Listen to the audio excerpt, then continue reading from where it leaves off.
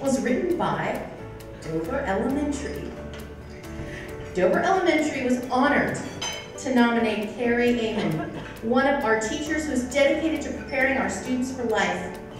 This is evident through the multitude of technology opportunities she has provided for our students. First and foremost, I'd like to thank the Glazer Children's Museum, the committee, and everyone involved in this award. Um, it is truly an honor to get an award like this and be recognized, but it's also a very humbling experience.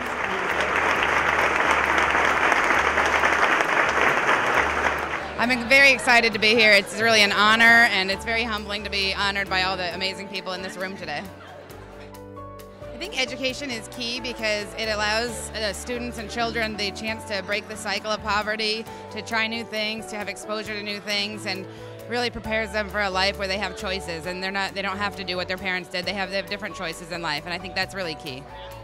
Oh, it was great. It was like it was pretty much the highlight of 2015 for me. I think just to be surrounded by a lot of great leaders in Tampa, um, all around our city, and just a lot of. It's a great location. I think if you, it's just a great location. All the things and activities you can do here.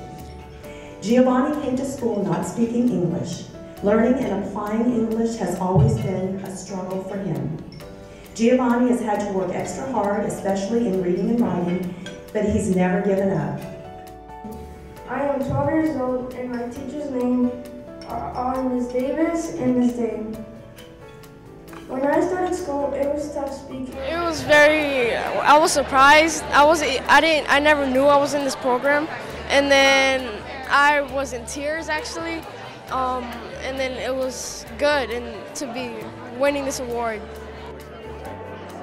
We are working so hard in Hillsborough County to have our students be college and career ready, and that starts at birth and goes all the way through graduation and post-secondary. So we are so excited to be here and to see the support of the community. When I look at these awardees, the teacher committed to uh, molding young lives and doing the best she can to give them a bright tomorrow. When I look at the, the students, one, I hate the word, but one who has some challenges, has overcome. Education is key because it's the foundation for everything else, you know, and, and, we in Hillsborough County play a pivotal role with our great partners. Obviously, here at the beautiful uh, Glazers Children's Museum, which is is key for our students because they get to come through and really have experiential learning uh, very early on, and, and the Glazer Museum is a perfect place for that. It starts to kind of be a springboard for what they're going to be able to connect later on, you know, in their schooling. So we're happy to be here. We're going to recognize some great kids today, some teachers, um, and obviously we just are very appreciative of the, of the Glazers and the Glazer Museum. Everyone here really is going to come out and support um, this this great place and our and our kids and our teachers. It's an honor.